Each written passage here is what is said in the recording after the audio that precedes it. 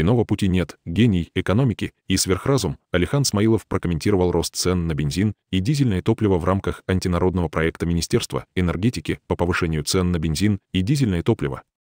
Глава Кабмина сообщил, что правительство постепенно снимает контроль цен на бензин и дизельное топливо, поскольку в стране наблюдается дефицит топлива, связанный, с его слов, и безосновательно, чересчур низкими ценами.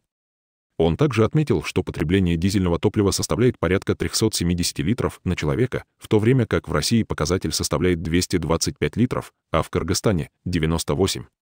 Премьер связывает это с ростом объема вывоза топлива в соседние страны. Но Алихан Смаилов тут явно не договаривает, так как не упомянул несколько моментов, которые в действительности влияют на стоимость топлива в Казахстане. Первое.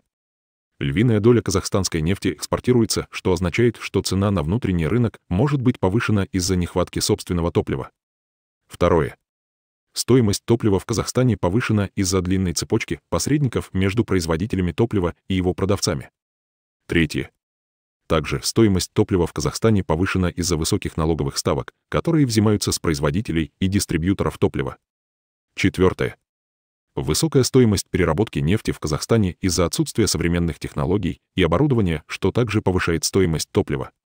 Но не совсем умный премьер нашей страны продолжает настаивать на том, что наше, якобы, дешевое топливо работает на экономике соседних стран в ущерб собственным национальным интересам, и поэтому для стабилизации ситуации на рынке горюче-смазочных материалов необходимо снизить ценовую разницу.